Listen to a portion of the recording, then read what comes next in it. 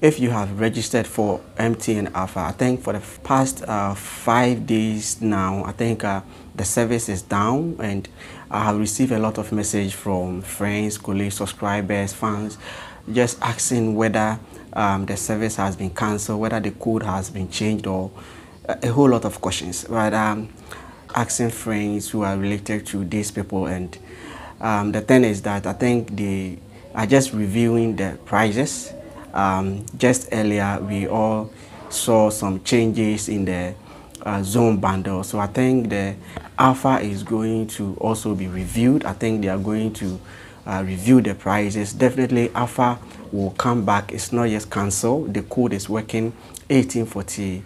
1848 is working but just that you can use it to buy the bundle and agent can also uh, register they can also register other new members. So AFA is not yet cancelled. It will surely come, but I think they are, are making some updates in their system. So let's take wait and see what MTN will come out of this one.